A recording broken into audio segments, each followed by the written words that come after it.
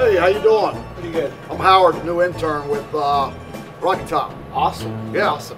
What sport are you in? Soccer.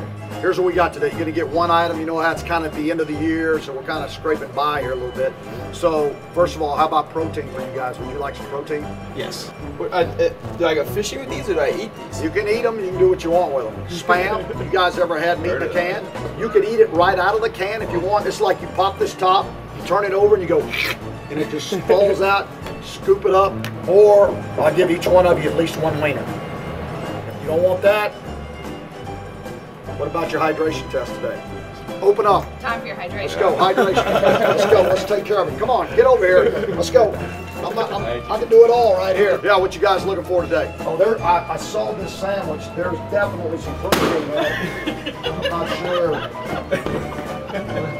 This came right off of Fetzer. Mm. Grass? it's grass. I'm gonna eat grass. Get out of here. nah, I'm good. First of all, you want protein. You want carbs. What do you want today? want a little bit of everything. Well, you only get one. All right. So I, I mean, you can't go wrong with the meat in a can. Spam, Yeah. really good for you. If not, my favorite, chicken gizzards. What's up, Ramsey? Beautiful. You got to stay with me here. I want the pineapple ice. Take the pineapple. You're good. All right. All right, Glenn. Thank you.